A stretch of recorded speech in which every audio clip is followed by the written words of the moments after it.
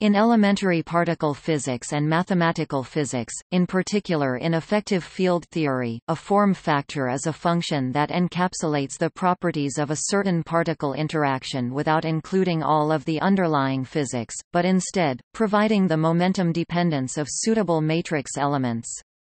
It is further measured experimentally in confirmation or specification of a theory. See experimental particle physics.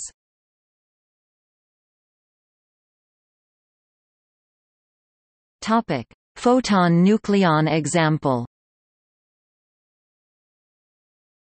For example, at low energies the interaction of a photon with a nucleon is a very complicated calculation involving interactions between the photon and a sea of quarks and gluons, and often the calculation cannot be fully performed from first principles.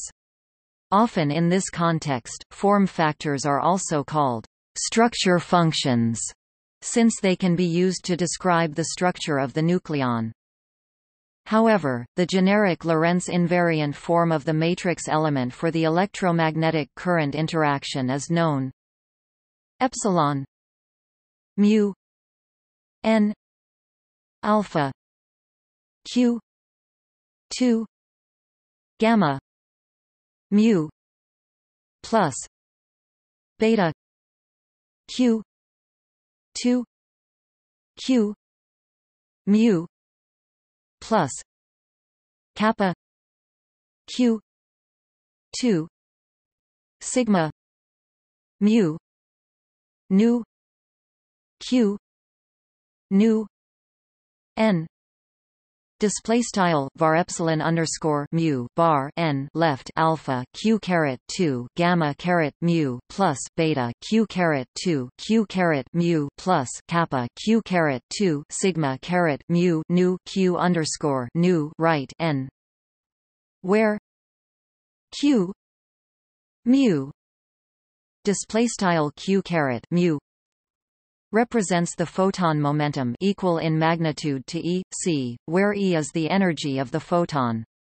The three functions alpha, beta, kappa, display style alpha, beta, kappa are associated to the electric and magnetic form factors for this interaction, and are routinely measured experimentally. These three effective vertices can then be used to check, or perform calculations that would otherwise be too difficult to perform from first principles.